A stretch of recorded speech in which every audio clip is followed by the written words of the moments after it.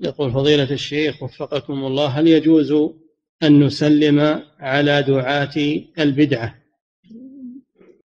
إذا كانت بدعتهم تقتضي الكفر فلا يسلم عليهم. أما إذا كانت بدعتهم دون الكفر فإن كان في هجرهم ردعا آه، إن كان في هجرهم ردع لهم يهجرهم إذا لم يكن فيه ردع لهم فيسلم عليهم ينهاهم عن البدعة ويبين لهم. نعم.